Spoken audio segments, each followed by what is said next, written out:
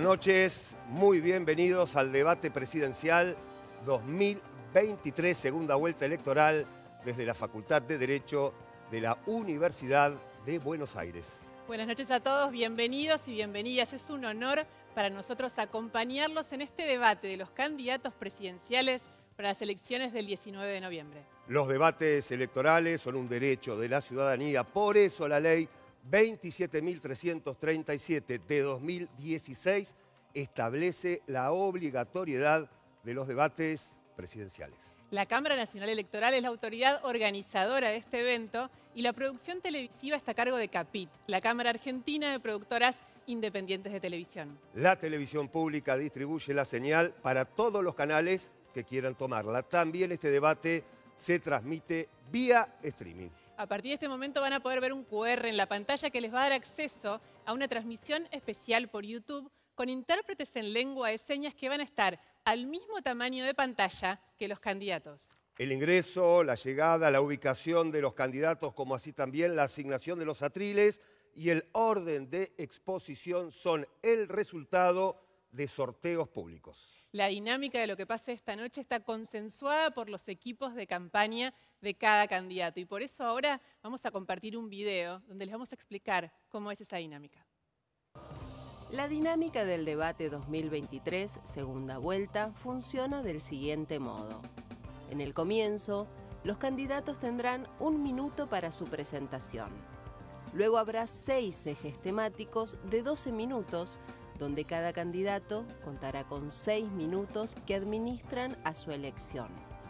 Cuando un candidato termina de hablar, automáticamente tiene la palabra el otro candidato.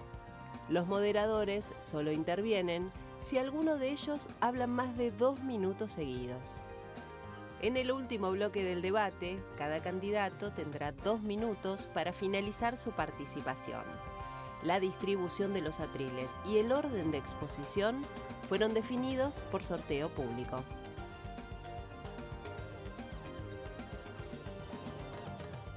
Y a esta hora, este domingo, es el momento de presentar a los protagonistas de la noche. Invitamos al escenario a los candidatos a la presidencia de la Nación.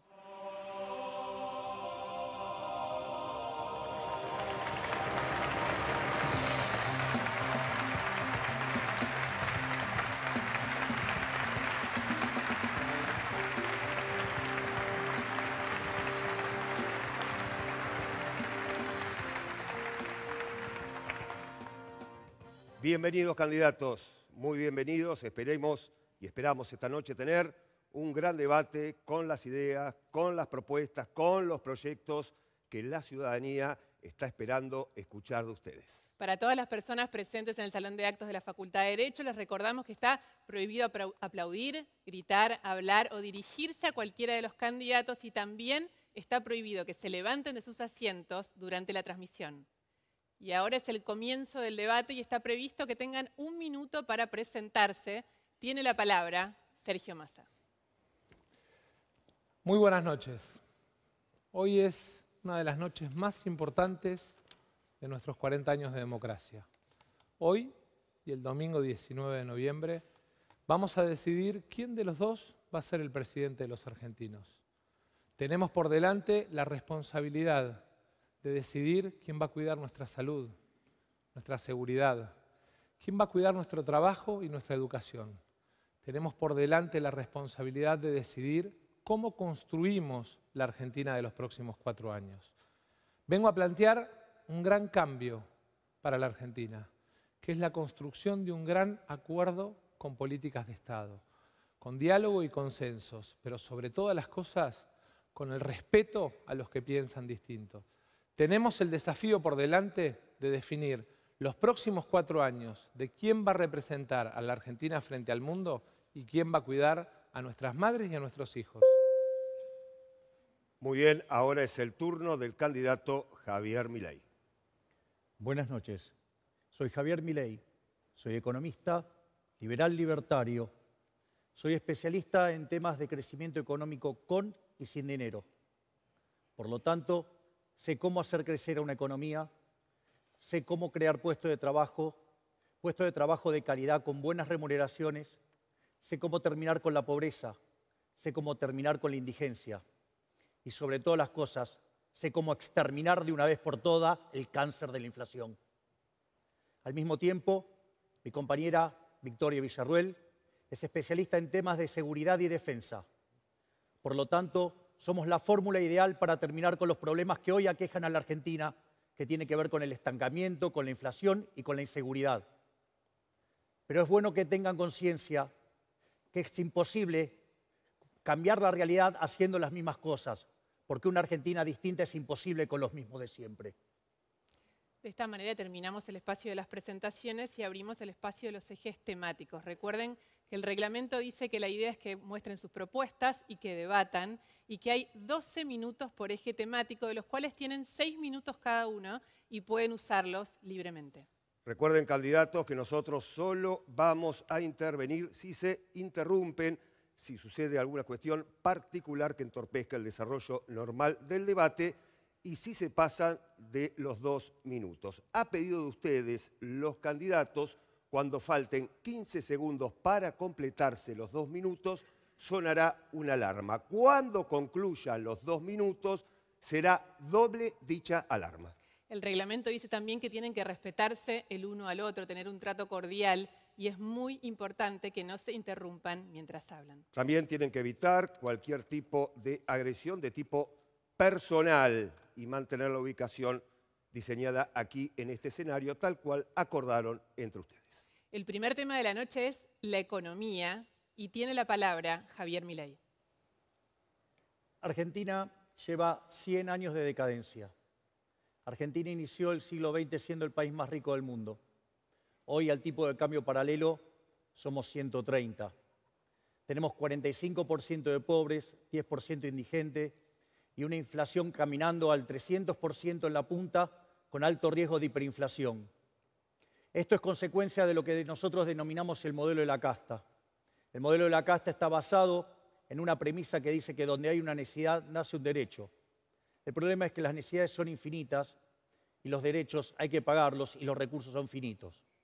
Eso no es un problema para los economistas de verdad, porque eso se resuelve con mercados, con propiedad privada y precios libres y sin intervención estatal. Pero eso no es lo que le gusta a la casta política, que le gusta intervenir. Y eso se manifiesta con déficit fiscal. Ese déficit fiscal hay que financiarlo. De hecho, Argentina de los últimos 123 años, durante 113, tuvo déficit fiscal. ¿Y cómo lo financia? Primero lo financia con deuda, una forma inmoral porque carga la cuenta sobre generaciones futuras. Generaciones que ni siquiera pueden votar, y que a la larga siempre terminamos desfolteando y por eso somos el máximo desfolteador serial de la historia moderna. La otra alternativa que utilizan los políticos suele ser el uso de la maquinita de imprimir billetes, o sea, ir al Banco Central e imprimir billetes. Eso genera inflación. De hecho, le hemos quitado 13 ceros a la moneda, tuvimos dos hiperinflaciones sin guerra y vaya que estamos camino a otra. Y la otra alternativa, ya cuando no queda más, viene el ajuste. El ajuste y que la política siempre lo hace subiendo impuestos, jamás bajando el gasto. Y eso lo que hace, generar presión que hace que sea inviable el sector privado, hace que nos hundamos por culpa de la presencia del sector público. El Estado es el origen del problema, no la solución. Tiene la palabra Sergio Massa. Bueno, creo que lo bueno de este debate es que tiene la oportunidad de que cada uno de nosotros podamos exponer y podamos preguntar Javier, por sí o por no te quiero preguntar. Dijiste en el programa de Feynman que vas a eliminar los subsidios. ¿Los vas a eliminar sí o no? Por sí o por no, ¿vas a privatizar Vaca Muerta como dijiste en el programa de Chiche Helblum, sí o no? Por sí o por no, ¿vas a dolarizar la economía como planteaste en la carta que le presentaste a la justicia electoral, sí o no? Por sí o por no, ¿vas a privatizar ríos y mares como planteaste en la carta que presentaste a la justicia en tu programa de gobierno, sí o no? Por sí o por no, ¿vas a eliminar el Banco Central? A ver, primero a mí no me vas a condicionar si contesto sí o no. Lo que sí te voy a decir es que, ¿sabes qué? Ustedes estuvieron mintiendo con los subsidios. Ustedes son unos mentirosos. Vos sos un mentiroso en engañar y asustar a la gente de cómo lo hiciste. Y te voy a explicar por qué. Porque el boleto, ¿sí? si vos agarrás ¿sí? y te fijás, dado lo que cubre hoy, cubre una sexta parte. Por lo tanto, digamos, primero tendrías que multiplicarlo por 6. O sea, con lo cual no te vas a 1100, te vas a 350 aproximadamente. Con lo cual mentiste ahí. Pero además nosotros queremos atacar, además, la parte que tiene que ver con los impuestos, con lo cual lo llevaría a la mitad. Y te voy a decir algo, no, no vamos a tocar las tarifas. ¿Sabes por qué? Porque antes vamos a permitir que la economía se recupere. Y cuando la economía se recupere, la economía va a poder pagar esas tarifas. ¿Y sabes cuál es el problema tuyo? Que vos, ¿sabés qué? Nos reventaste los ingresos. Con vos, como ministro de Economía, cayó 33% los ingresos, que ya venían cayendo antes con Macri. Y te voy a decir más. ¿Sabes qué? Si tuviéramos los mismos ingresos que teníamos la convertibilidad, igual antes de tener la miseria que tenemos ahora con vos de 350 mil pesos, ¿sabes qué? Tendríamos 1.800.000. Mirá la miseria que generaste. Después, digamos, ¿sabes qué? Sí, voy a terminar con el Banco Central, porque el Banco Central es el origen de la inflación, es decir, es la maquinita. ¿Sabes por qué voy a terminar con la inflación? Porque es la forma en la cual ustedes nos roban a nosotros. ¿Sabes cuántos nos robaron ustedes con la emisión monetaria en los más de 20 años? que salimos la convertibilidad, 280 mil millones de dólares. De hecho, el gobierno de delincuentes en el que vos participás nos están robando 90 mil millones de dólares y este año te está llevando de esa manera 25 mil millones de dólares. ¿A quién querés seguir jodiéndole la vida con robarnos con la inflación? obviamente el tema de vaca muerta, digo, eso es una cuestión provincial, yo no me tengo que meter y creo que te contesté todo, la privatización de los mares. Ni siquiera sabes extrapolar un caso de teoría económica dado en una charla para economistas. Tiempo, por favor. Muy bien. Sergio Massa. Bueno, eh, lo primero que te voy a dar es un consejo. El debate es largo, no te pongas agresivo porque la gente lo que espera son respuestas. Yo te di respuesta, no me puse agresivo. Y creo, que, y creo que si hay algo que esperan los argentinos es que el 10 de diciembre, gobierne quien gobierne, nos demos la construcción de políticas de Estado. Atacando, agraviando, faltando el respeto, no lo vas a construir. Te vuelvo a preguntar, por sí o por no, ¿vas a dolarizar la economía? ¿Vas a eliminar los subsidios? A ver, en primer lugar, no, no te agredí, no mientas, deja de mentir, deja de mentir, no te agredí, solamente expreso con pasión la indignación que genera un gobierno que nos viene destrozando la vida a todos. Pensá que si estuviéramos como la convertibilidad tendríamos un ingreso promedio de 1.800 dólares o 1.800.000 al tipo de cambio paralelo y no esta miseria que tenemos hoy. Sí, voy a eliminar el Banco Central porque el Banco Central es lo que genera la inflación. Y los subsidios, ya te lo expliqué, digamos, te lo tengo que volver a explicar, ¿no lo entendiste? Dije que, no, que no los voy a tocar. Bueno, dije que no los voy a tocar. En lugar de tanto esto, ¿por qué no explicás vos cuáles son tus propuestas? Porque no se te escuchó ninguna propuesta. A ver, digamos, habla en serio y hacés vos alguna propuesta y a ver qué decimos. Tengo todavía un largo tiempo por los 4 minutos 40 que me quedan, pero o mentiste en lo de Feynman o mentiste esta noche, porque dijiste que ibas a eliminar todos los subsidios. Te acabo de explicar cómo lo voy a hacer.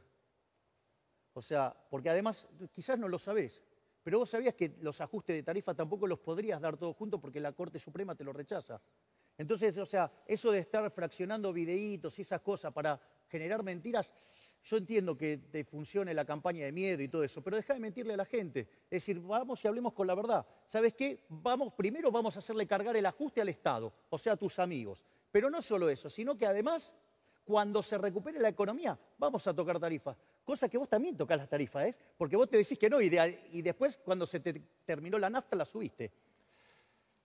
Bueno, por sí o por no, porque desgraciadamente todavía no hemos conseguido saber si los subsidios a los jubilados, si los subsidios en lo que es el sistema de transporte, si los subsidios en lo que es el sistema de créditos, si los subsidios en lo que es el sistema de viviendas, ¿vas a eliminarlos o no? Y hay gente que espera respuesta. Ya te dije que no. O sea que le mentiste a Feynman. No, yo no le mentí a Feynman. Lo que pasa es que las respuestas no son como vos querés, de sí o por no. Digamos, tienen toda una lógica. Bueno, desgraciadamente eh, a lo largo de toda la campaña escuchamos a este candidato hablar de motosierra eliminando subsidios que representan, entre otras cosas, la suba del 300% de las tarifas, que representan, entre otras cosas, la suba del 400% del boleto de tren y de colectivo, que representan, entre otras cosas, la eliminación de los programas de atención contra el cáncer, que representan, entre otras cosas, el recorte en 83 mil pesos a cada jubilado y jubilada. ¿A cuál le creemos? ¿Al que mintió en lo de Feynman o al que miente esta noche? Muy fácil. Si un mentiroso dice que alguien es un mentiroso, ese que está siendo acusado es el que dice la verdad. Digamos, porque si vos fueras Pinocho ya me hubieras lastimado un ojo. Javier, entiendo que hiciste tu carrera más que como economista, como estandapero de televisión, pero desgraciadamente lo que está en juego hoy es el futuro de los argentinos. ¿Quién va a representar a la Argentina frente al mundo? ¿Quién se va a sentar con las centrales de trabajadores? ¿Quién se va a sentar con los empresarios a diseñar la política de crecimiento?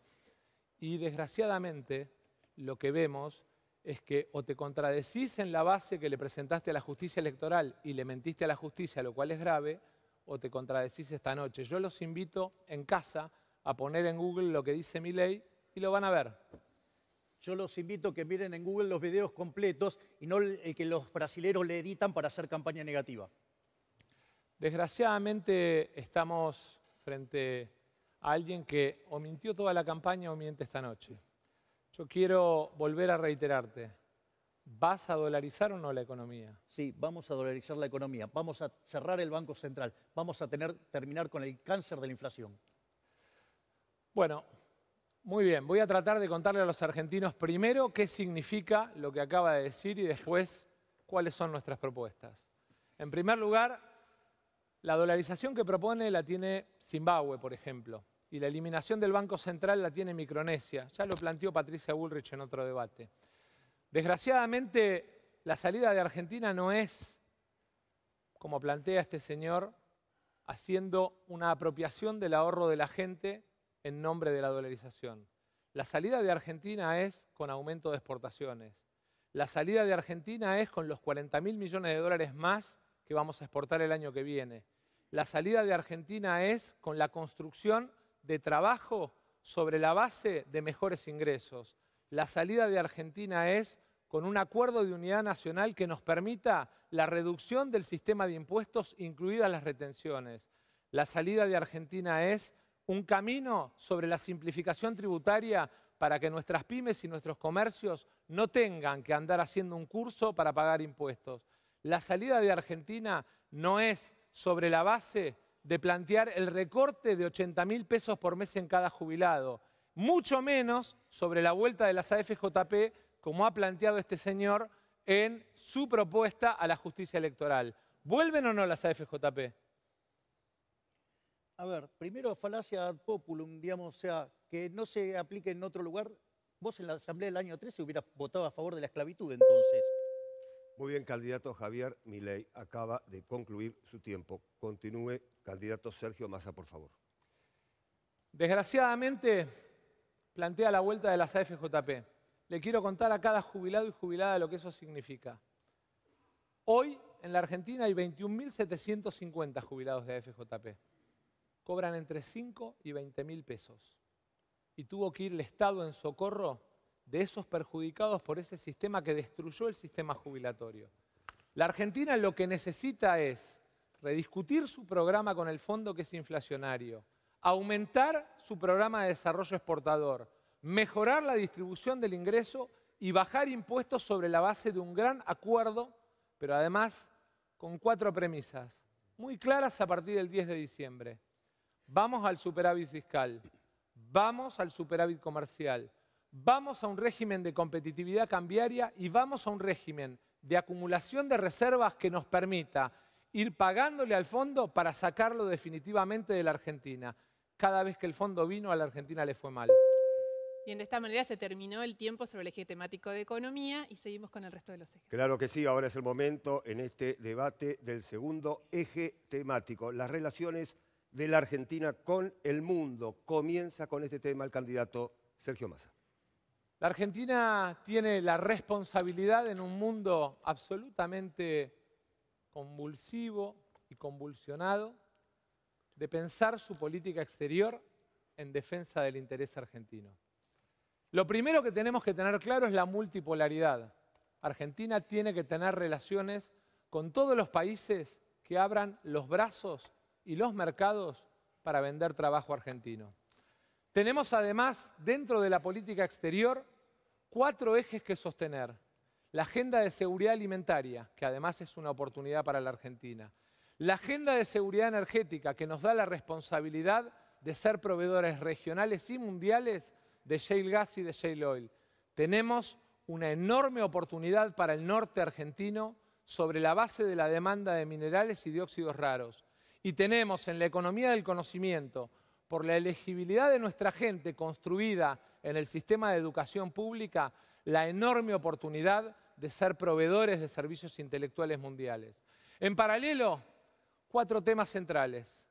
¿Quiénes son los principales socios comerciales de Argentina? Brasil es uno, China es otro. Defender esa agenda comercial que le da trabajo a dos millones de argentinos. La segunda, claramente, nuestra relación con la Santa Sede. Este hombre que está acá trató de representante del maligno al argentino más importante de la historia, nuestro Papa. Y alguno de los que está acá acompañándolo dijo que había que romper relaciones con la Santa Sede. Vamos a trabajar para que en el 2024 el Papa visite la Argentina. Por último, la irrenunciable defensa de la soberanía de Malvinas. Le quiero agradecer al general Balsa por acompañarnos hoy, porque es un símbolo del ejército al servicio de la democracia, pero sobre todas las cosas es un héroe de Malvinas que merece que los argentinos defendamos la causa de Malvinas. Su tiempo, candidato Massa, el tiempo ahora del candidato Javier Milei. Como liberal libertario creo profundamente en el comercio internacional y la apertura del comercio internacional. Básicamente, aquellos países que son más abiertos al mundo tienen ingreso per cápita nueve veces mayor que aquellos que son cerrados. Sin embargo, también creo que no tiene que interferir el Estado en las relaciones comerciales. El Estado no tiene por qué meterse a decir con quién tengo que comercializar o con quién no el Estado termina siendo un estorbo. De hecho, el mejor ejemplo del estorbo que causa el Estado es lo que está pasando con el Mercosur, que no tiene calle de salida, digamos que está atascado y que no progresa hacia, ningún lado. Por lo tanto, digamos, frente a esas mentiras que han dicho que yo señalo que no hay que comercializar con China o que no hay que comercializar con Brasil, les digo que es falso. Es decir, pero es una cuestión de los privados, no tiene por qué estar metiéndose el Estado, porque cada vez que se mete el Estado genera corrupción y se paga con caída en el bienestar de los argentinos. Porque lo mejor que puede pasar con el comercio es que comercialicemos, porque nos vamos a beneficiar con bienes de mejor calidad a un mejor precio, vamos a incrementar el bienestar de todos. Por otro lado, en lo que tiene que ver con las relaciones internacionales, sistemáticamente he señalado mi alineación con Estados Unidos, con Israel y con el mundo libre. Y básicamente, lo otro que quiero señalar es que como Estado, no estoy dispuesto a, digamos, a plantear relaciones con aquellos que no respetan la democracia liberal, que no respetan las libertades individuales, que avanzan sobre los individuos y que no respetan la paz. Por lo tanto, digamos, con esos no quiero saber nada. Y te aviso que lo que diga un integrante o un seguidor de la libertad avanza, eso no quiere decir que sea la posición de nosotros respecto al a la Santa Sede, a la cual respetamos de todos modos. Milei, su tiempo, por favor. Tiene la palabra Sergio Massa. En el primer debate te pedí que le pidieras disculpas al Papa y dijiste que no lo habías dicho en campaña, a pesar de que lo dijiste en la entrevista con Tucker cuando ya eras candidato. ¿Le vas a pedir disculpas al Papa y lo vas a invitar a la Argentina por haberlo tratado como el representante del maligno, sí o no? Mira, si bien yo esas disculpas las hice internamente y a él le llegaron, si a vos te deja tranquilo y a la gente lo deja tranquilo, yo no tengo problemas en pedir disculpas. Cuando uno se equivoca, pide disculpas y se acabó. Primer punto, no solo eso. Segundo es, estamos dispuestos a recibirlo en la Argentina, darle los honores de un jefe de Estado. Y no solo eso, darle los honores propios del jefe espiritual de la, de la Iglesia, dado el credo católico de los argentinos. Por lo tanto, deja de mentir y hacer un punto de eso, porque eso no es un punto. Igual que, digamos, lo de Malvinas. O sea, también, digamos, nosotros consideramos que las Malvinas son argentinas. Es más, Victoria es hija de un héroe de Malvinas. Y no solo eso, sino que además, ¿sí? Vamos a agotar todas las instancias diplomáticas para que las islas vuelvan a ser argentinas. Así es que termina de mentir, digamos, basta de ese nacionalismo barato cuando en realidad, digamos, se hacen propuestas serias. Dijiste que Margaret Thatcher era tu ídola y que las Malvinas tenían el derecho a autodeterminación de los Kelpers. Le invito a la gente a que lo busque en Google, eh, porque me parece que vino a desmentirse de lo que dijo durante toda la campaña.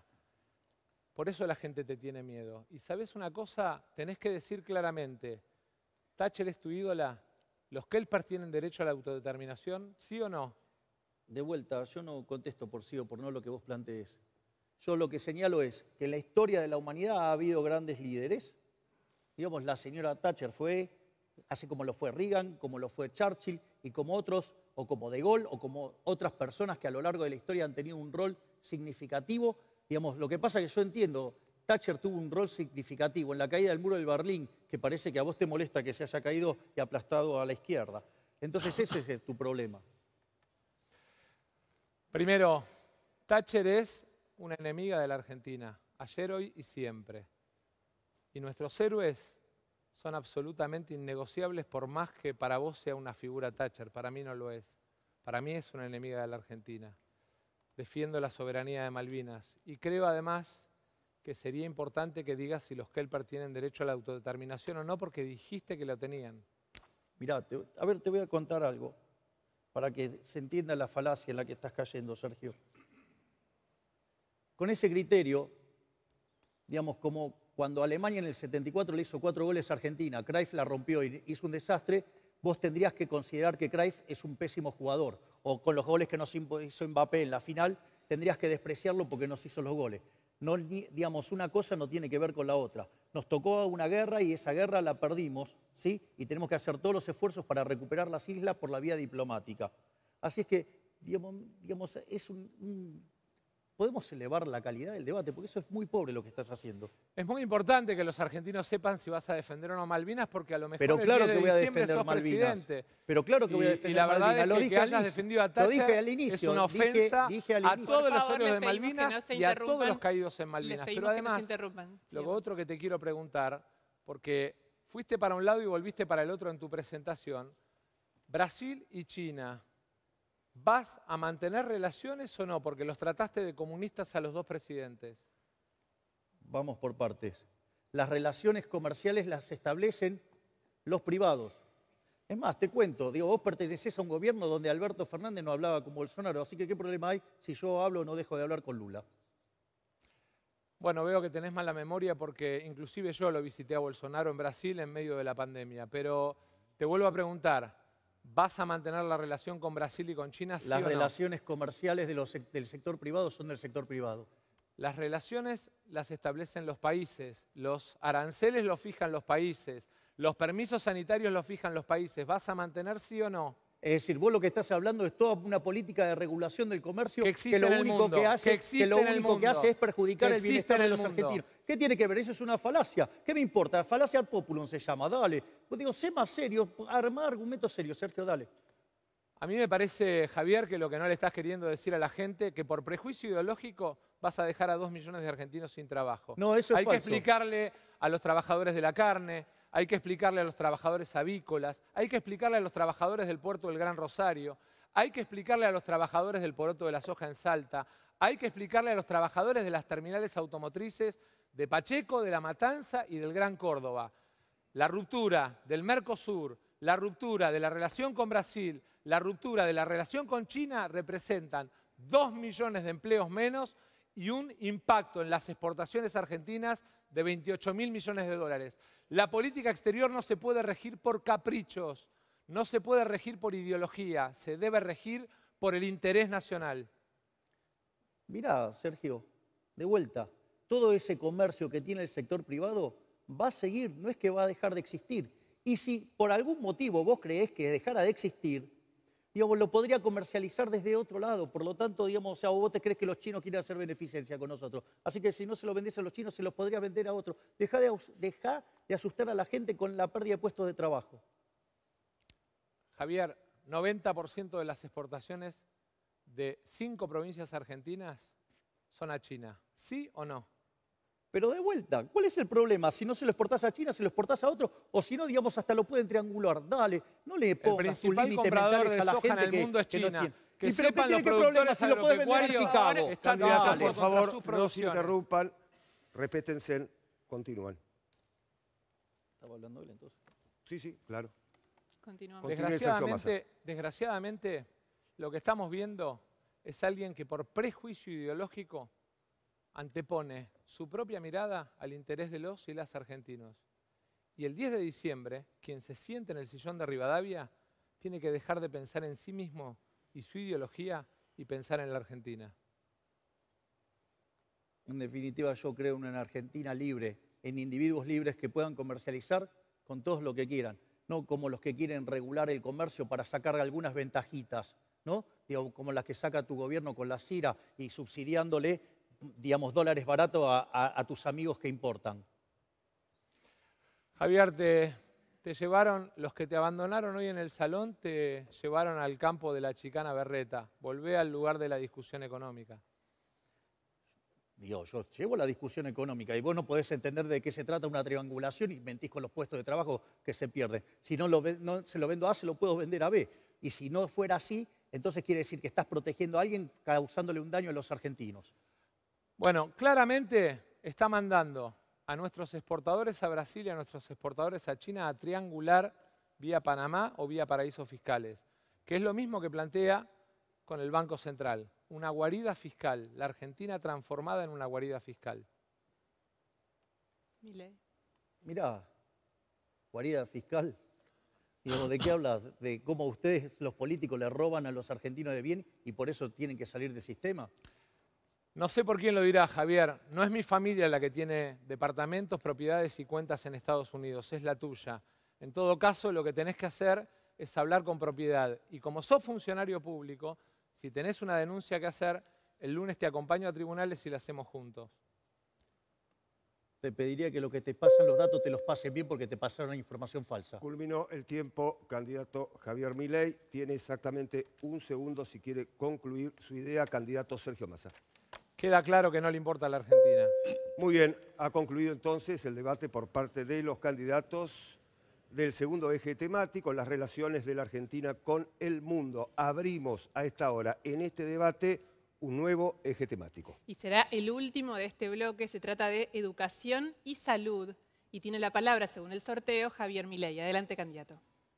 Bueno, frente a la campaña negativa y de mentiras a la que hemos sido sometidos, una de las cosas que quiero aclarar, antes que nada, es que la salud y la educación van a seguir siendo públicas. Miren, esto es muy simple.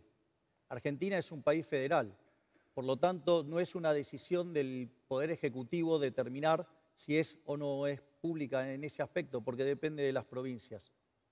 No solo eso, también quiero comentar que para nosotros la educación y la salud es sumamente importante, a punto tal que nosotros hemos diseñado algo absolutamente revolucionario, que es la idea del Ministerio del Capital Humano.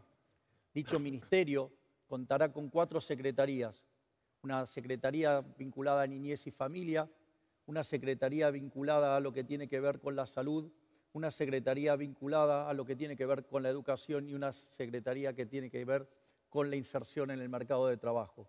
Esto tiene sentido porque básicamente cuando uno estudia la historia de la humanidad, el gran crecimiento económico se dio durante los últimos 250 años. Y cuando quiere explicar el factor fundamental, viene dado por el capital humano. El capital humano, digamos, tiene dos dimensiones. El de primera generación, que tiene que ver con que la gente esté sana, es decir, que la gente se pueda alimentar. Por eso lo que tiene que ver, y eso fue muy importante durante el siglo XIX, y por eso para nosotros es tan importante la cuestión de la alimentación y el cuidado de los niños para que se puedan, y, y su salud. Y por otra parte, en- durante el siglo XX y lo que va del siglo XXI, ha sido muy importante el rol de la educación y el rol del trabajo y el aprendizaje en la práctica. Y por eso, digamos, el segundo bloque de secretarías del Ministerio de Capital Humano. Sergio Massa. Quiero contarle a los argentinos y a las argentinas por qué la Argentina es uno de los cinco elegibles mundiales. Básicamente, cuando hablan de capital humano, de lo que hablamos es del conocimiento de nuestra gente. Y eso está centralmente basado en un sistema de educación pública, gratuita, de calidad, inclusiva, 23.500 escuelas rurales y universidades repartidas a lo largo y a lo ancho del país. Ese es el sistema que tenemos que defender y mejorar. ¿Cómo lo vamos a mejorar? En primer lugar, 8 puntos del PBI van a estar asignados a la inversión educativa. ¿Qué vamos a hacer? Primero, todo lo que son los jardines maternales, de 45 días a 5 años, 723 en todo el país. En segundo lugar, de primero a tercer grado, el plan de alfabetización obligatorio. Los chicos tienen que salir leyendo de tercer grado. En cuarto y quinto año, matemática, robótica y programación obligatorios para los chicos, porque en definitiva hace a la preparación para el nuevo mundo del trabajo y además la duplicación de las escuelas técnicas en la Argentina con salida laboral y último año en pasantía. Acordamos además con 50 universidades la preparación de carreras más cortas con salida laboral. Un punto y medio del PBI va a estar asignado al presupuesto de universidades, porque necesitamos más universidades, no menos y en paralelo asociado a lo que es el complejo de ciencia y tecnología. En materia de salud, además de la promoción de la carrera hospitalaria, además de la preparación de nuevo capital humano, porque el mundo está cambiando hacia, la atención domiciliaria, la integración del sistema de salud pública, del sistema de seguridad social y del sistema privado en un uso común de las capacidades, en un seguro de salud universal para los ciudadanos argentinos. Y sobre todas las cosas, la defensa del INCUCAI. Argentina merece tener un sistema solidario de donación de órganos que es respetado en todo el mundo. Muy bien, tiene la palabra Javier Milei. A ver, me resulta muy interesante todas las propuestas que, que tiene el ministro Massa. Digo, su signo político lleva 16 años en el poder. Yo no sé por qué no lo hicieron. Es más, usted habla de alfabetización. Nosotros sí tenemos un compromiso y de hecho hemos firmado el compromiso con la alfabetización. Y le digo más, ¿sabe que solamente el 16% de los chicos termina el secundario en tiempo y forma? ¿Sabía que el 30% directamente no lo termina? Usted sabe, además, que habla de la alfabetización y de los chicos de 10 años, que el 50% de los chicos no entiende lo que lea y el 70% no puede resolver un problema de matemática básica y ustedes están asignando un montón de recursos desde el Estado Nacional, que va principalmente a las universidades, y cuando ni siquiera se pueden garantizar de que lleguen a la, digamos, ni siquiera terminan la secundaria. Es más, tienen graves problemas de alimentación. Por lo tanto, digamos, ¿dónde están poniendo el carro delante de los caballos? Primero hay que sacar a los chicos de la pobreza. Tu gobierno, ¿sabes qué? Dejó dos tercios de los chicos en situación de pobreza, la gente no le alcanza para alimentarse. Hay que resolver esa parte del capital humano, porque si no se alimentan, ¿sabes qué? No pueden estudiar y mucho menos trabajar. Veo que desgraciadamente no sabes cómo funcionan los centros de desarrollo infantil o jardines maternales. Pero por sí o por no, ¿vas a arancelar las universidades? Digo, vos porque crees que, digamos, es gratis. Y nada es gratis. ¿Vas a arancelar sí o no? Yo lo que te digo es... ¿Vas a arancelar sí o no? Contale a los argentinos. A ver, porque yo hablo de reforma de primera, segunda y tercera generación. Vos traes una reforma de tercera generación a una de primera. ¿Vas a arancelar Entonces, sí o no? No, de corto plazo, no. ¿Y sabes qué? En el corto plazo no, y en el largo plazo. ¿Y sabes qué? y de largo plazo se le va a dar los recursos a la gente. ¿Sabes para qué? Para que, digamos, pueda elegir a la, institución a la cual quiere asistir. ¿Sí? En lugar de, de favorecer a la oferta y los curros de la política. Pero además, qué interesante, porque están los videos de cuando vos eras joven y la querías arancelar. Digamos, que que los brasileños te pasen esa data. Búsquenlos en Google. Yo lo que le quiero decir es que el señor va a arancelar la universidad. A cada mamá y a cada papá que tiene a su hijo en la universidad, la Universidad de San Juan hizo el cálculo. 270 mil pesos por mes le va a costar la idea de este señor. Pero además, el sistema, el sistema educativo argentino tiene una particularidad, que es que permite la movilidad social ascendente, la igualdad de oportunidades. Permite que el hijo de un peón rural pueda soñar con ser abogado presidente, ¿vas a arancelar la educación primaria y secundaria también? A ver, deja, deja, de mentirle a la gente. Che, el que hizo el cálculo ese es el mismo, eh, hace los cálculos de la misma manera que te hicieron los cálculos de la tarifa y todo, que los números que mostraban y asustaban a la gente en el, en el tren y en los distintos lugares no dan con lo que dijiste vos ahora o te está fallando la matemática. Entonces, digo, primero, digamos, no me vengas con cálculos que verdaderamente, digamos, no tienen ninguna base científica. Y después, o sea, ¿a qué llamás vos movilidad social ascendente? Digo, tenías que ser claro, porque digo, ¿qué es lo que quiere decir? ¿Que le vas a robar plata a gente para dársela a otro? Explica bien cómo se trata eso. Yo les cuento qué es la movilidad social ascendente para mí. Es que el hijo de un inmigrante italiano haya podido ir a la universidad, como es mi caso, o que el 90% de los chicos que van a la Universidad de José C. Paso de Florencio Varela sean primera generación de estudiantes universitarios. Yo entiendo que desde el Excel no se entiende. La realidad, las personas de carne y hueso sí lo entienden. Un inmigrante italiano, pero vos estudiaste en la Universidad de Belgrano. Sí, y mi Y hija además estudia- tardaste 20 años. Y vos también estudiaste en colegio privado y mi hija estudia en la Universidad de San Martín. ¿Qué tiene que ver? Bueno, digo, pregunta, Mi porque hija estudia en una universidad Pero pública como de- mencionaste tu caso- de gran calidad.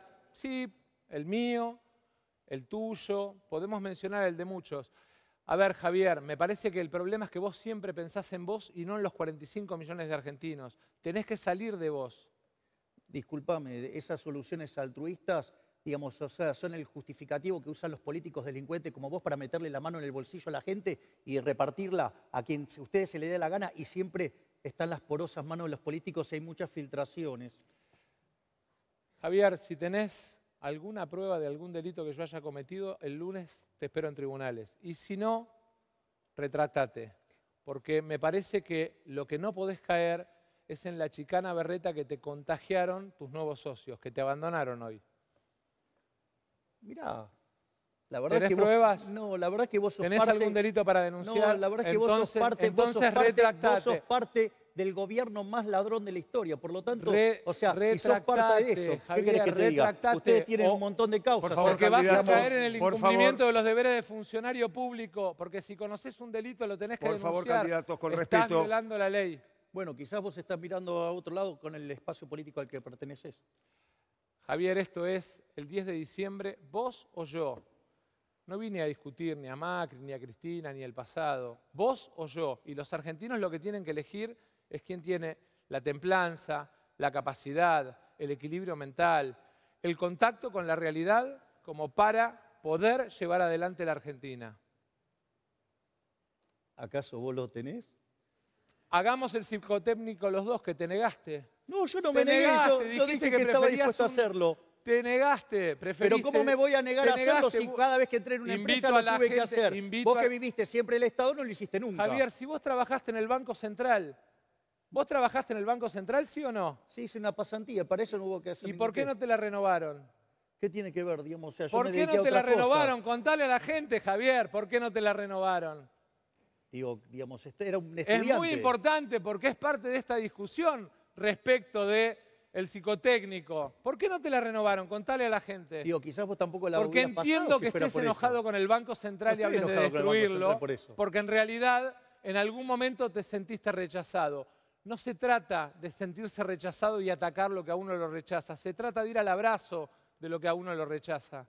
Pero de vuelta, digamos, era un joven, digamos, que ni siquiera estaba graduado. O sea, ¿cuál es el problema? ¿O acaso vos te crees que, digamos, la vida no tiene fracasos? Uno tiene fracasos, se pone de pie y sigue. Digamos, no como vos que seguís, digamos, fracasando siempre de la misma manera. Aprendí, por suerte, de muchos de mis fracasos. Algunos lo compartiste conmigo porque entre el 2013 y el 2015 venías a las oficinas del Frente Renovador con Nielsen y con Giacomini a acompañarme. Y la verdad es que si hay algo que tengo que contarle a los argentinos es que sí, que de los fracasos, de los errores, aprendí y aprendí mucho y me forjaron y me templaron. Y por eso siento que este es un momento distinto de mi vida y siento que estoy para darle todo a la Argentina. Parece que no aprendiste mucho porque volviste con los K. Me parece que no aprendiste vos nada porque terminaste yendo a pedirle, por favor, que te ayude a Macri.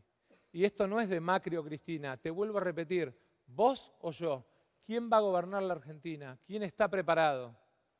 La verdad, dado lo, que, lo poco propositivo que está, el único que está preparado soy yo, no vos.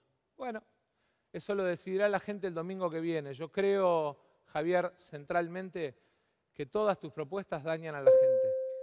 Por eso, digo, la gente de Juntos por el Cambio nos está ayudando a fiscalizar para que no nos roben la elección. Muy bien, candidatos, acaba de concluir el debate sobre educación y salud, este tercer eje de este debate esta noche. Y también termina nuestra participación en este debate. Fue un privilegio enorme de corazón participar en este debate de los candidatos a la presidencia de la Nación por la segunda vuelta electoral. Vamos a hacer una pausa. Cuando volvamos, Erika Fontana y Antonio Laje serán los moderadores de este segundo bloque elecciones presidenciales 2023. Muchísimas gracias por acompañarnos. Ha sido un placer.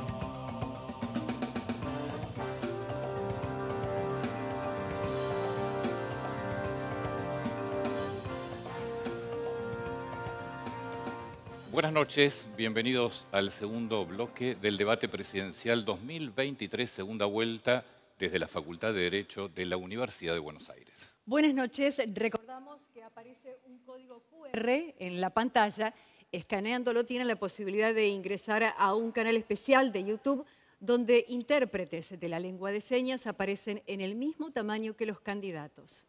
Y llegó el momento de debatir el cuarto bloque temático, es producción y trabajo. Les recordamos a los candidatos guardar respeto mutuo, no agredirse, no descalificarse y no interrumpir al otro candidato mientras está hablando. Quien inicia este eje temático es el candidato Sergio Massa. Lo escuchamos. Hace algunas semanas, en un encuentro con trabajadores y empresarios, planteé claramente que uno de mis grandes desafíos y de mis grandes sueños es ser el presidente del trabajo.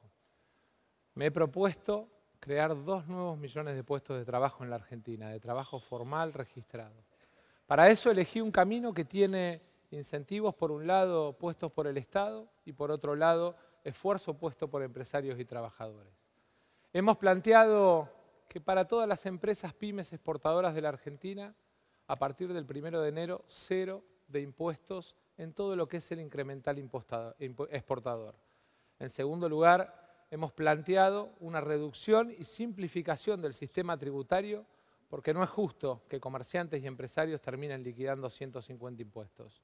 En tercer lugar, hemos planteado para el norte grande, para el norte argentino, la vuelta de un programa denominado 814, que es el que permite que no paguen cargas sociales todos los desarrollos industriales en Catamarca, en La Rioja, en Salta, en Jujuy, en las provincias del norte que necesitan recuperar asimetrías.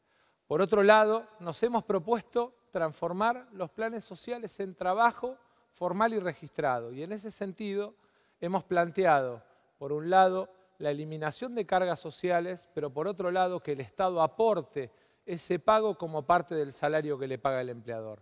Tenemos además el desafío de seguir fortaleciendo las economías regionales. Cero de retenciones a las 33 economías regionales. El vino en Cuyo, el poroto negro en Salta o la caña de azúcar en Tucumán son centralmente los beneficiarios de este primer desafío, que es aumentar los volúmenes de producción para aumentar el trabajo registrado y bien pago en la Argentina. Me resulta bastante simpático el ministro Massa hablando de crear dos millones de puestos de trabajo pensar que la cantidad de empleados en el sector privado está estancado desde el año 2011 en torno a los 6 millones.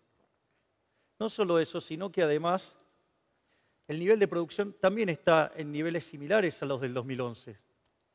De hecho, cuando uno mira el producto per cápita Argentina, está 15% por debajo. Y eso en realidad ocurre básicamente porque no hay inversión.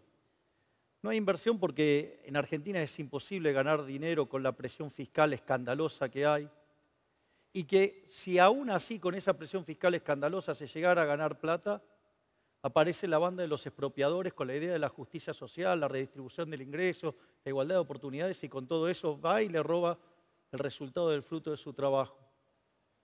Pero suponiendo que uno pudiera superar eso, el problema es cómo financiarlo.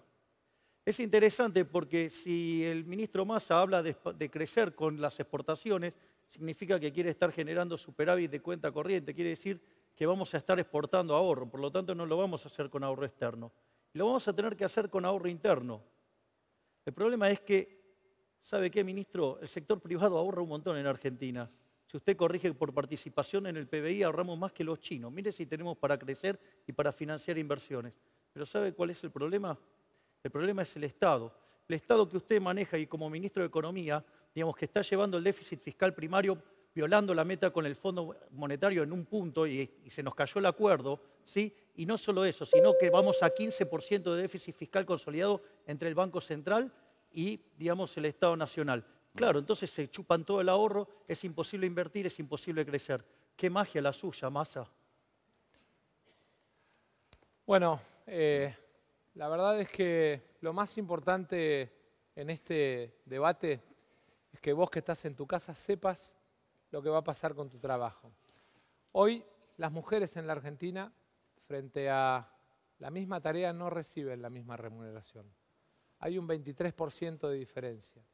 Y centralmente quiero comprometerme con to todas esas mujeres a dos políticas. Una la conté en el proceso educativo, que son los jardines maternales, para que mientras van a trabajar tengan quien eduque y cuide a sus hijos. La otra vinculada al tema de igual remuneración por igual tarea, porque el desafío en la Argentina es que esa igualdad de derechos que emana de la Constitución, las empresas en la Argentina la respeten y hoy eso no se está dando en nuestro mercado de trabajo. Señor Milley. Me sorprende que siendo ministro de Economía, bueno, de un gobierno con tanto fracaso en lo económico no, pero ni, ni siquiera sepas leer los, los datos, Sergio. Fracasé cuando te quise enseñar, no aprendiste nada. Cuando hablas del 23% de la diferencia, eso es cuando se toman los promedios. Cuando vos corregís por tareas, ¿sabes qué? Esa diferencia desaparece. Si vos alguna vez hubieras pisado una empresa en serio, no la de los amigos, ¿sabes qué? Si vos tuvieras razón tendría que estar lleno de mujeres porque los explotadores capitalistas querrían ganar dinero. Y cuando vos vas, están distribuidos muy equitativamente. Por lo tanto, esa diferencial que hablas es falso. Es decir, y eso, digamos, es propio de no saber mirar los números. Pedile que te lo analice un economista, no alguien que mira números sin saber. Desgraciadamente, esa permanente mirada despectiva de las mujeres vuelve a aparecer en él. Pero yo les quiero decir algo que me parece muy importante.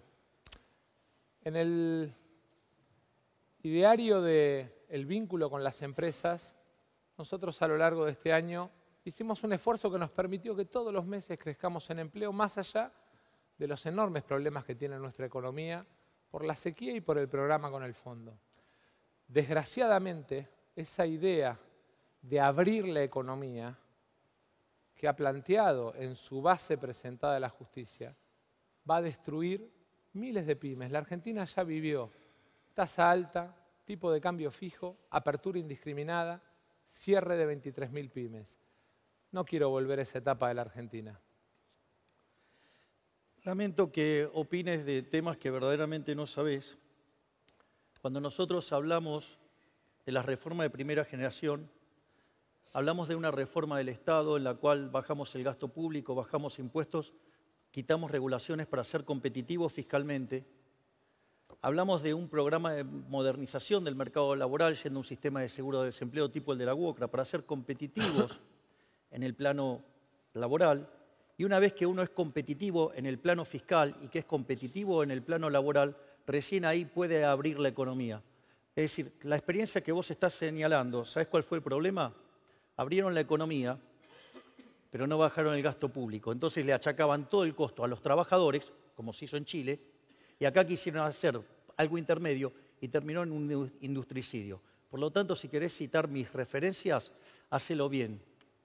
Javier, no puedo citar tus referencias bien porque el último libro que escribiste tenés tres denuncias de, plagio de haber copiado a otros autores. Invito a la gente a que lo revise en Google.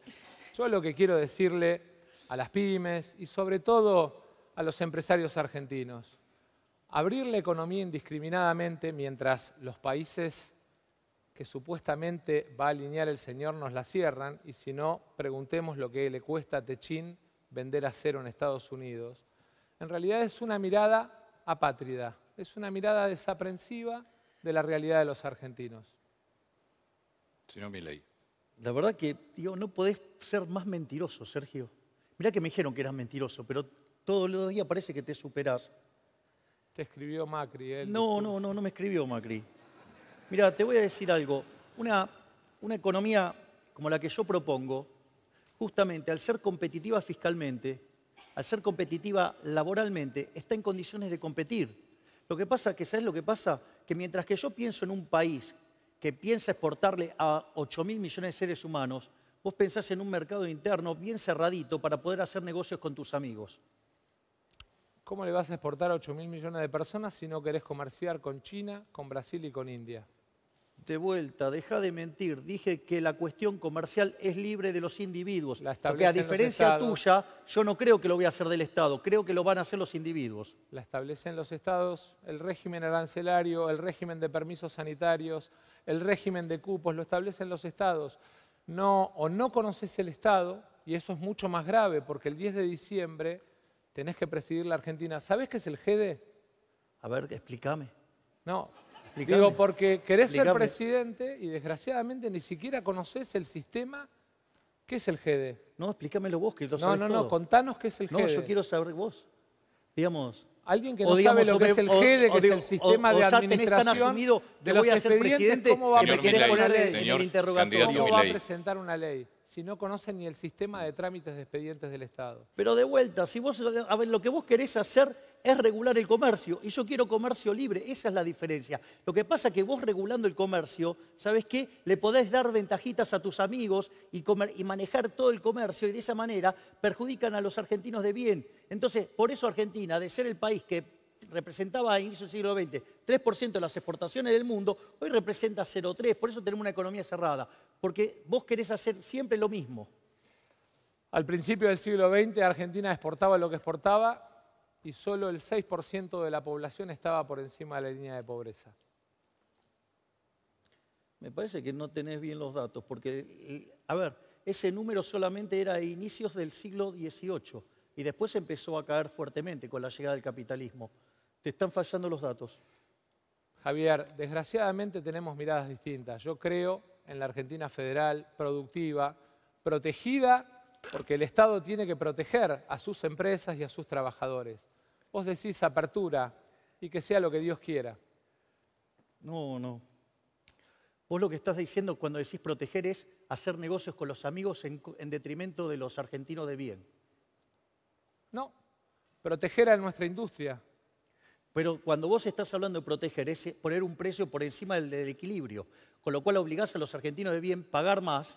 Y sabes qué, todo eso que vos perdés, destrozás puestos de trabajo en otro lado de mayor productividad. Pero ¿sabes cuál es la diferencia? Que claro, lo manejamos desde las palancas del Estado y ahí aparecen las porosas manos de los políticos.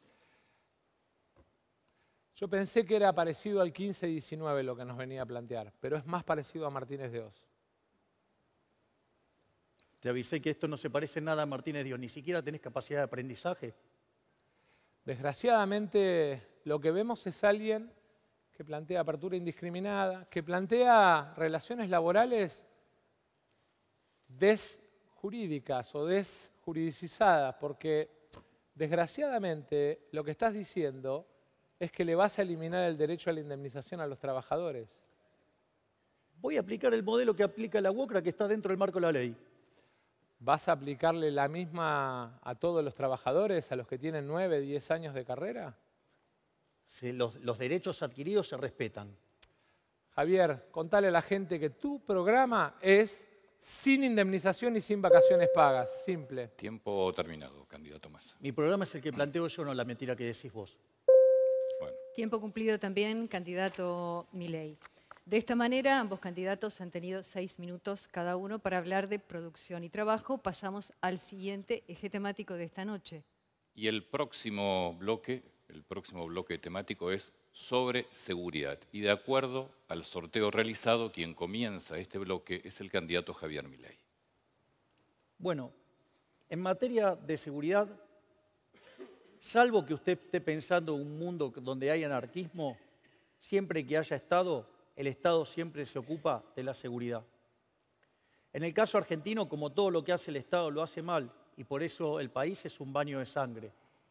Ese baño de sangre comenzó de manera muchísimo más grosera a partir del año 2001-2002 y se hizo más fuerte, digamos, con la llegada de un señor llamado Eugenio Zaffaroni. Es decir, un señor que invertía la carga, la prueba, donde hacía que las víctimas fueran los victimarios y viceversa. Bueno, nosotros no creemos en ese mundo, nosotros no creemos en esa lógica de que el delincuente es una víctima. Nosotros creemos en aplicar la ley y el que las hace las paga. En ese sentido, ese desastre que acá aplica hoy ya había ocurrido en Nueva York en la década del 60 y eso fue atacado y resuelto por Gary Becker en un trabajo que se llama Crimen y Castigo del año 1968 y puesto en práctica por Rudolf Giuliani y resolvió el problema en Nueva York. Es interesante porque cuando ustedes miran desde esta perspectiva, ahora no es solamente la cuestión de la seguridad de ir y atrapar a los delincuentes, sino que también tiene un rol fundamental el tema de las penas y cómo se ejecutan las penas en los hechos. De hecho, solamente el 3,5% de los delitos son condenados en Argentina. Eso implica una licuación enorme de los costos para los delincuentes. Eso hace que la actividad eh, delictiva en Argentina sea muy rentable. Y como toda actividad que es rentable, se expande. Y la delincuencia no es distinta. Candidato Massa. Bueno, eh, primero una enorme alegría. Vamos a tener una coincidencia porque el libro que cuenta lo que hice en Tigre está prologado y presentado acá en la Argentina por Rudolf Giuliani. Y básicamente tiene que ver con algo que me pasó. Era intendente y a tres cuadras de mi casa mataron a un chiquito de 17 años. Salí corriendo a la casa, encontré a la madre y a la hija. Y ese día tomé la decisión de que Tigre, mi ciudad, la que gobernaba en ese momento, iba a ser la más segura. Bajé 80% del robo automotor, que es el delito que más se denuncia, 47% todos los delitos. Y de alguna manera me permitió con cámaras, móviles, sistemas de botón de pánico y tecnología aplicada a todo lo que es un programa satelital de prevención, bajar el delito. He planteado lo mismo para las 140 ciudades de más de 50.000 habitantes de la Argentina. Y creo además que es parte de los grandes acuerdos que tenemos que construir desde el 10 de diciembre, porque seguramente como presidente lo voy a tener que hacer con gobernadores e intendentes de distinto signo político, y es parte de la tarea que tenemos que hacer entre todos. Pero no es solo la tarea de prevención. Tenemos además la responsabilidad de atacar los tres crímenes transnacionales, corrupción, narcotráfico y trata de personas. Y en ese sentido voy a plantear la instalación en Rosario, de, en el edificio de Central Córdoba, que todos los rosarinos conocen, de la sede de una agencia federal que va a trabajar con los cuatro mejores cuerpos de élite de cada una de las fuerzas federales, con el objetivo de atacar esos tres delitos. Y después te voy a contar lo que creo que hay que hacer en materia de justicia, porque no es solo prevención y seguridad, sino también acción de la justicia. Javier Milei. Bueno, eso es para que vean que no hay una cuestión ideológica, de que cuando las cosas se hacen bien yo las reconozco. Y la verdad es que reconozco que lo que has hecho en materia de seguridad en Tigre es bueno y que querer extenderlo al resto del país es bueno. Ahora debe ser muy malo el resto que hiciste para que, digamos, después, cada vez que fue tu mujer a las elecciones, perdió siempre. O quizá te conocen demasiado.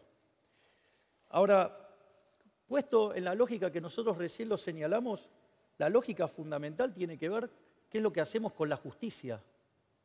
Es decir, nosotros lo que estamos proponiendo es reformar varios aspectos, digamos, de la ley de seguridad nacional, la ley de defensa nacional, la ley de inteligencia. Estamos proponiendo reformar el Código Penal, el Código Penal procesal, reformar el sistema carcelario, ¿sí? Porque, por ejemplo, el Código Penal, el Código Penal que es de 1921 tuvo 900 modificaciones y muchas de esas modificaciones que tiene son contradictorias unas con otras. Por lo tanto, eso genera zonas grises que hace que los delitos no sean penalizados. Y así está lleno de un montón de problemas. También tenemos que trabajar en lo que tiene que ver con el sistema carcelario. No puede ser, digamos, entonces tiene que separarse lo que tiene que ver con los, adultos y con lo que tiene que ver con los menores. O sea, y los menores además tienen que ser reinsertados y reeducados para que vuelvan a la sociedad. ¿Sí? Y además también tenemos problemas en la justicia federal y digamos tenemos problemas de cómo la política se mete adentro de la justicia y no la deja funcionar como corresponde y de manera independiente. Dicho sea de paso, ustedes le están haciendo juicio a las cortes, no el juicio político. Parece que mucha independencia no quieren que tenga. Candidato Massa. Bueno, más allá de chicanas que de alguna manera tienen que ver con desconocimiento del tema, en materia de justicia hay dos cambios fundamentales para hacer. Uno ya lo planteé en el 2014, cuando vos me acompañabas en el Frente Renovador. El Código Penal que además volvió a tomar estado parlamentario en la presentación que hace el doctor Borinsky, conocido como Código Borinsky, y que cambia no solamente el sistema de tratamiento de penas, sino también que cambia algunas de las calificaciones de conducta. En segundo lugar, el otro trabajo que hay que hacer tiene que ver con respetar la independencia del Poder Judicial, pero por otro lado medir resultados.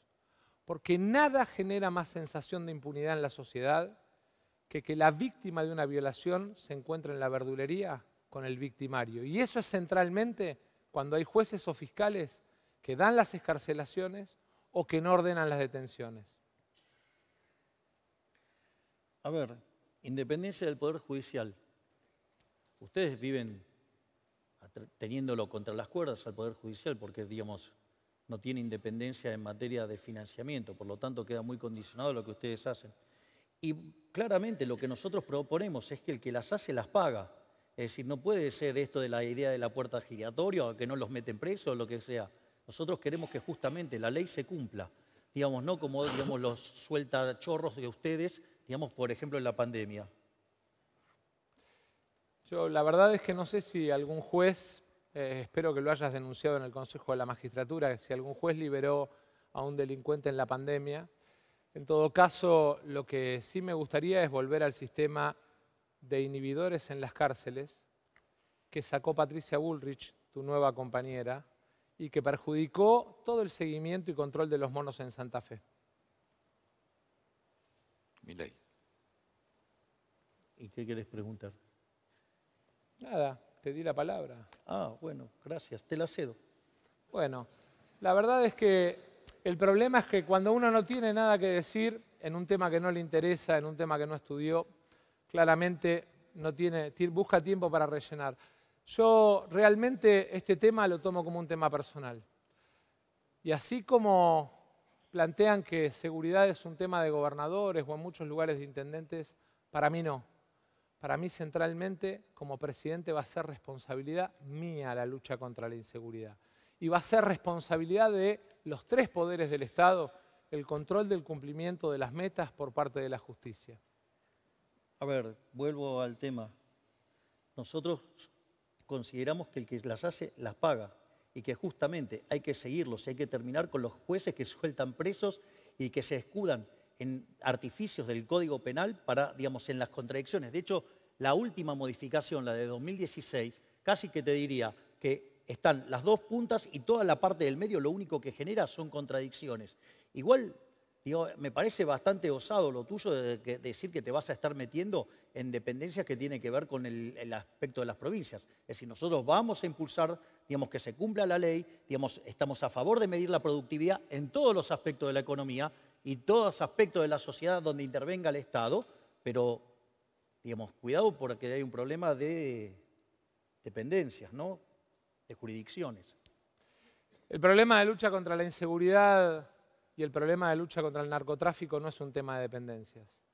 Y así como me comprometí y me comprometo en la generación de empleo, me comprometo hoy a ser un presidente absoluta y personalmente involucrado en la lucha contra la inseguridad. No me tocaba en Tigre, y sin embargo lo hice, y hasta vos lo reconoces. Y la verdad es que me parece que tiene que ver centralmente con que cuando uno tiene una responsabilidad pública no mira jurisdicciones, protege a las personas. Esas mamás, esas mujeres que necesitan salir a la calle y sentirse protegidas, no entienden de jurisdicciones, quieren que nos hagamos responsables. Mira, mencionás el tema del narcotráfico, ¿no? Y sobre todo el rol que, por ejemplo, lo que sucede en Rosario, ¿no? Es interesante porque en la lucha contra el narcotráfico no hay un solo policía preso, no hay un solo policía muerto. Eso quiere decir que baja la orden del poder político, digo, para darle cobertura a los narcotraficantes. Porque es más, cuando la gente se saturó, sola fue a buscarlas y los sacó a patadas. Es decir, por lo tanto, digamos, no hay voluntad política, pero no sé, parece que vos querés avanzar sobre las responsabilidades de las provincias. Si tengo que poner todos los recursos federales para ayudar a los rosarinos y a los santafesinos, lo voy a hacer. Ese es mi compromiso con Santa Fe. Me parece perfecto, no violes la ley. La verdad es que las fuerzas federales y los jueces federales tienen jurisdicción en el territorio, y mucho más en la lucha contra el narcotráfico, así como también en la lucha contra la trata de personas y en la lucha de los delitos transnacionales como la corrupción. Bueno, digo, fíjate cómo vas a avanzar también sobre el coso de, de los delitos transnacionales y donde se te meten otros países a partir de eso, porque ahí también necesitas reformar, por ejemplo, lo que tiene que ver con la ley de defensa nacional, porque no se puede mandar a los uniformados, ¿sí? digamos, a combatir cualquier tipo de crimen, porque si no, después no lo hacen, porque después viene alguien y lo juzga por delito de lesa humanidad. No, eh, me parece que estamos mezclando las fuerzas de seguridad con las fuerzas armadas. la gente entiende policía, prefectura, gendarmería, policía aeronáutica, entiende claramente que hay una diferencia entre esas cuatro fuerzas y ejército, armada y fuerza aérea. Le restan tres segundos. Bueno, yo porque mencionaste, digo, para que quede claro que no vas a estar mandando a los uniformados ahí. Nosotros vamos a construir fuerzas de seguridad profesionales. Vamos a controlar que la justicia cumpla con su parte.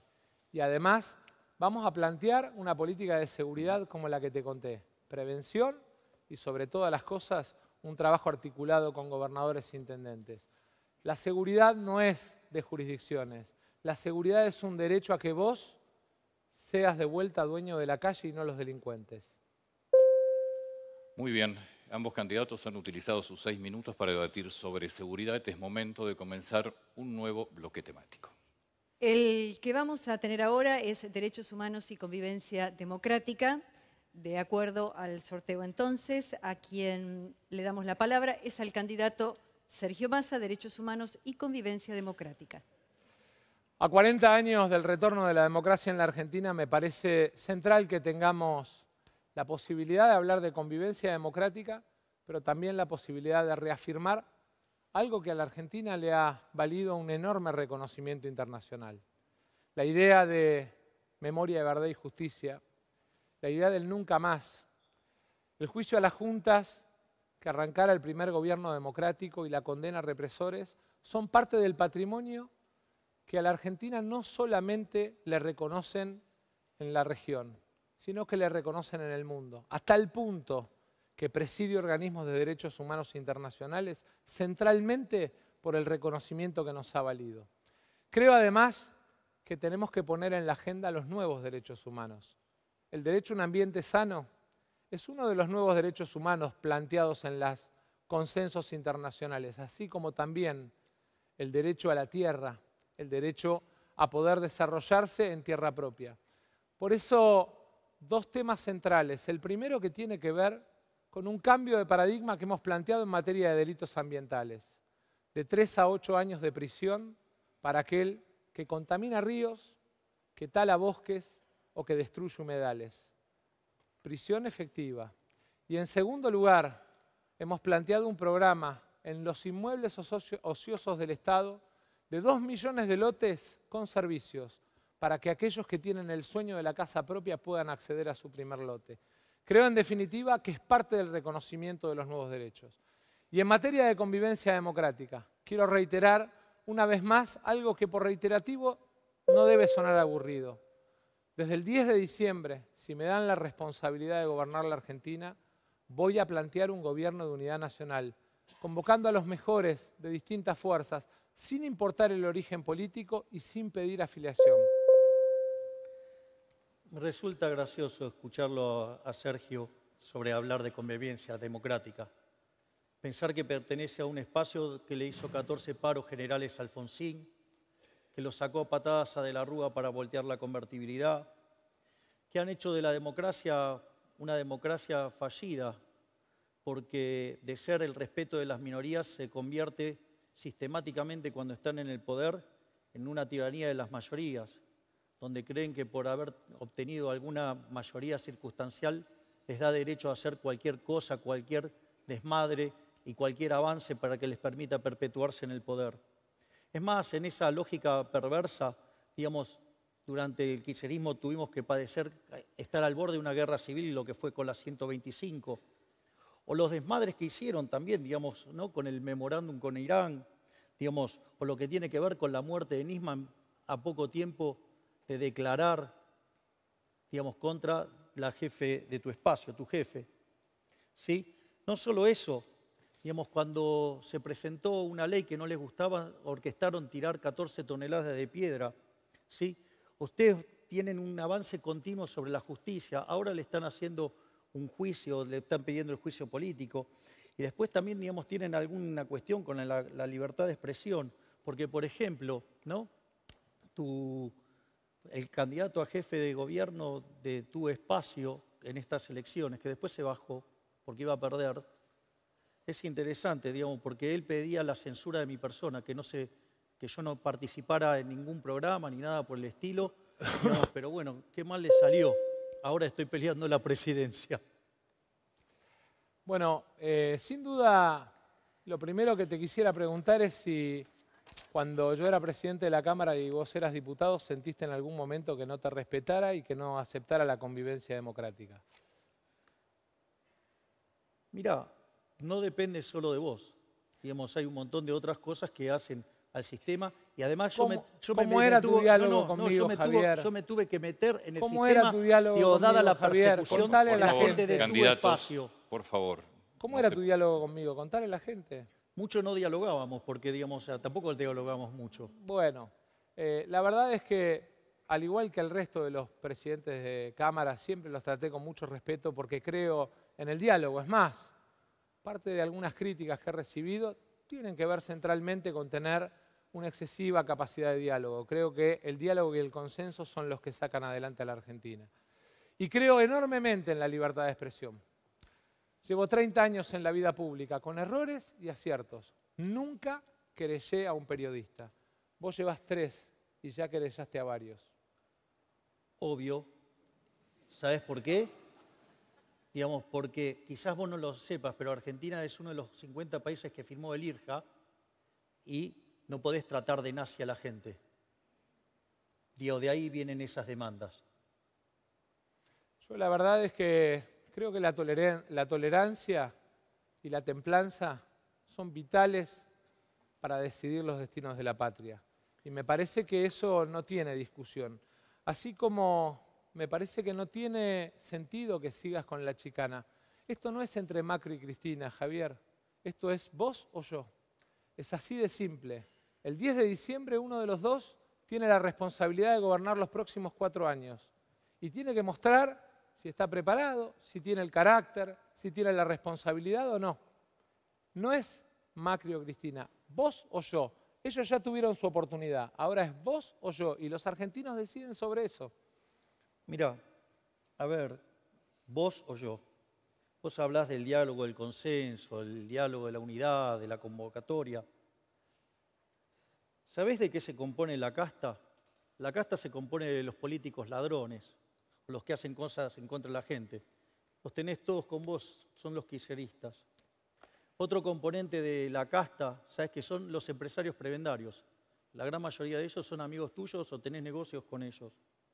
No solo eso, sino que además, digamos, hablas de los sindicalistas. o sea, los sindicalistas que operan en contra de los beneficios y los, digamos, de la situación de los argentinos, son con los que vos te reunís. Son los mismos que también le hicieron los 14 paros generales a Alfonsín. No solo eso, sino que además tenés una fuerte injerencia en los medios. ¿sí? Con lo cual, todo ese sistema que hace de la casta empobrecedor y que arruina a los argentinos, cuando vos estás diciendo que te vas a sentar con ellos, te vas a sentar a negociar cómo repartirte la torta entre ellos a espalda de los argentinos de bien, que son a los que cada día le va peor desde que estás aplicando en Argentina el mismo sistema que decís vos, porque se aplica en Argentina desde hace 100 años. Javier, el que trabajó con el UNEQUIAN fuiste vos, no yo, ¿eh? Si vos como ministro de Economía crees que tiene algo suyo, andá y denuncialo. Ya la semana pasada le bajamos la tarifa para Iguazú porque cobraba el triple de lo que cobraba la FOS de Iguazú, pero contale a la gente cómo era el proyecto del tren con Arnequian. Porque entonces lo regulaste mal. Contale a la gente cómo era el proyecto del tren con Arnequian. ¿Qué tenía? Digamos, era un excelente proyecto que afortunadamente, digamos, o sea, lo pudimos impulsar, pero, digamos, dada la situación de la economía argentina, no pudo avanzar. Yo no trabajé con Arnequian, no tengo empresarios amigos, tengo empresarios a los que conozco. Ahora, la verdad es que lo que me parece patético es que alguien que trabajó 10 años con uno de los concesionarios más importantes del Estado argentino hable de, digamos, depender de empresarios. Eso habla, por lo menos mal de vos, habla de que sos desagradecido con Arnequian que tanto te ayudó. No, todo lo contrario, soy súper agradecido y pasé 15 años maravillosos adentro del grupo Urnequian. Bueno, está claro. Trabajó para vos... y para la AFJP. Está claro cuál es el diseño de país. La verdad es que en el marco de lo que estamos discutiendo, que es la convivencia democrática, quiero reiterar mi llamado a los distintos sectores de la Argentina, empresarios, trabajadores, organizaciones de la sociedad civil, movimientos sociales, porque además la convivencia democrática supone, entre otras cosas, el respeto al que piensa distinto. Es interesante que hables de las AFJPs, porque vos sos el que las nacionalizó. Y como consecuencia de ello, se patinaron el Fondo de Garantía de Sustentabilidad, invirtiendo en cualquier cosa y, haciendo una dilapidación de recursos. Y eso en parte explica las jubilaciones miserables. Mirá, desde tu gestión, desde 150 dólares cayó a 92 dólares al tipo de cambio paralelo. Mirá el daño que le hiciste a los argentinos con tu masazo. 63 mil millones de dólares vale hoy el Fondo de Garantía, Javier. Digo, debería valer muchísimo más. O sea, si hubieran administrado Pero no es que lo dilapidamos, con Macri valía 40, hoy vale 63. Pero debería valer todavía muchísimo más. La cuenta es simple y desgraciadamente, y le pido perdón a la audiencia porque en teoría teníamos que hablar de derechos humanos, teníamos que hablar del respeto y convivencia democrática, volvemos para atrás.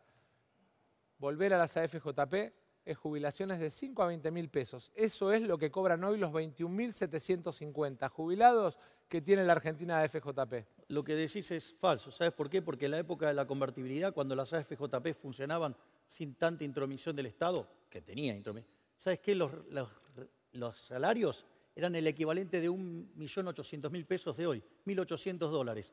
Pero ¿sabes qué? Como tu gobierno los destrozó y los llevó a 330 dólares, por eso estamos tan miserables. Es lógico que defienda las AFJP, trabajó mucho tiempo ahí.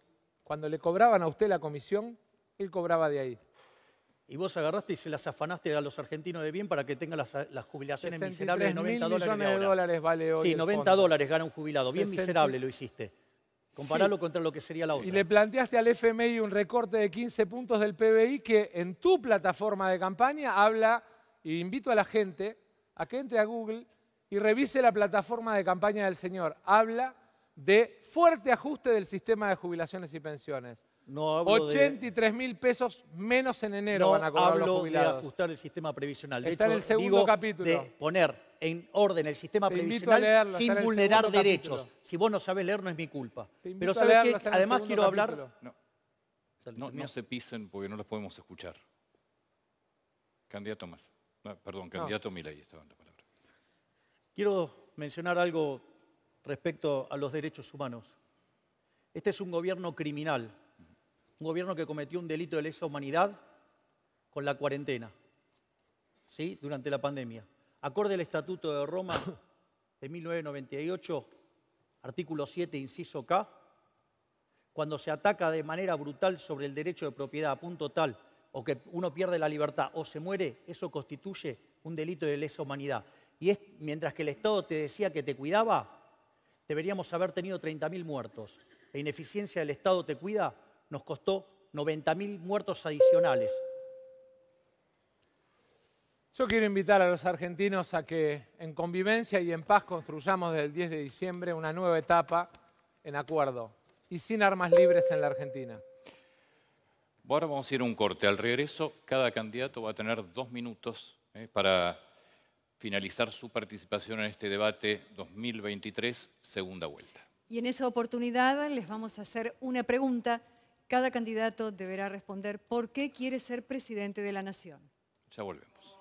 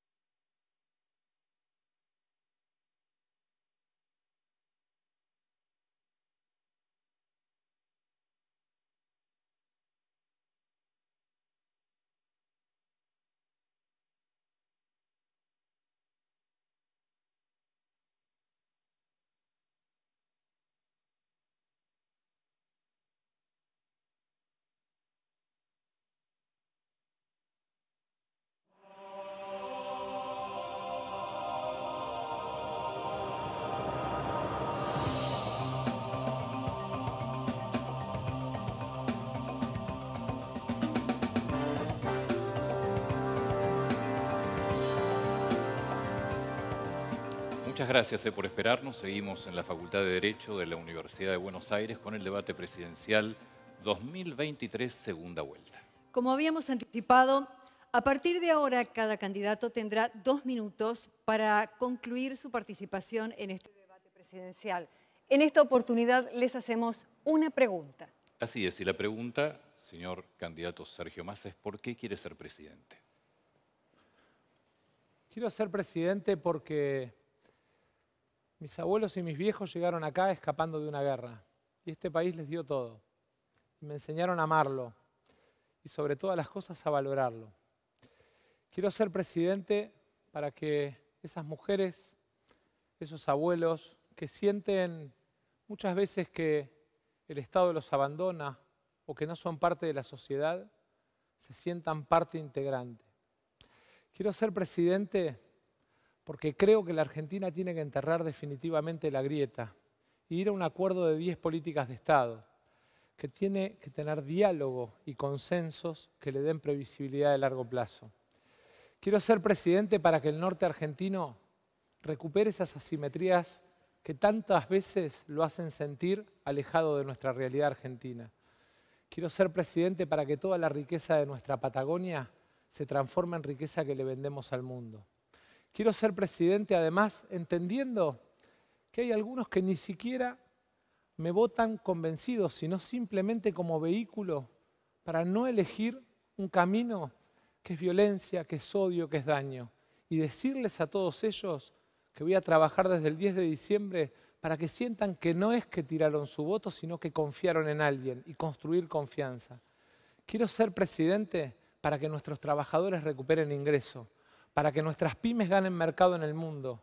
Quiero ser presidente para que nuestros pibes sigan yendo a la universidad pública, pero sobre todas las cosas, para que nuestras mamás y nuestras mujeres puedan entrar al mercado de trabajo sin miedo y sin discriminación.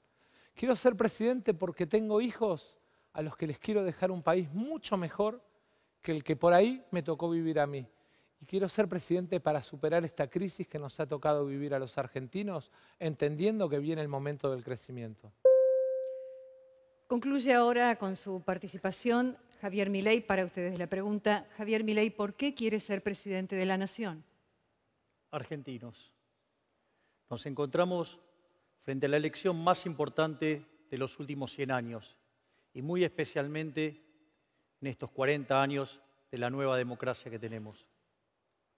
Es el momento de preguntarnos si queremos seguir transitando este sendero decadente que hace que cada día seamos más miserables, que tengamos cada vez más pobres, que tengamos más indigentes, donde los chicos se tienen que ir del país para buscar un futuro, digamos, un país condenado a la miseria. Por eso te pido que al momento de evaluar tu voto te preguntes si preferís la inflación sobre la estabilidad, si preferís esta decadencia en producción y empleo o preferís el crecimiento económico, si querés seguir sosteniendo a esta casta política chorra, corrupta, parasitaria e inútil que lo único que hace es destruir, digamos, nuestra generación de riqueza y hundirnos cada vez más. En el fondo también te estoy preguntando si vos querés elegir entre el populismo que nos hunde y la república. Lo que sí te pido es que cuando vayas a votar lo hagas sin miedo, porque el miedo paraliza. Y si te paralizás, beneficias al status quo, a ese status quo que nos empobrece. Por ende, nosotros venimos a ofrecerte el modelo de la libertad, un modelo que donde se aplica, los países son ocho veces más ricos que los reprimidos, hay 25 veces menos de pobre estándar, 50 veces menos en formato extremo, los pobres están muchísimo mejor que el 90% del país reprimido, la gente vive un 20% más. Por lo tanto, quiero que tengas una luz de esperanza. Existe una Argentina mejor, pero esa Argentina mejor solamente es posible si esa Argentina es liberal. Muchas gracias. Y así terminamos el debate presidencial 2023, segunda vuelta. Fue un honor haber participado. Muchas gracias. Comparto las palabras de Antonio.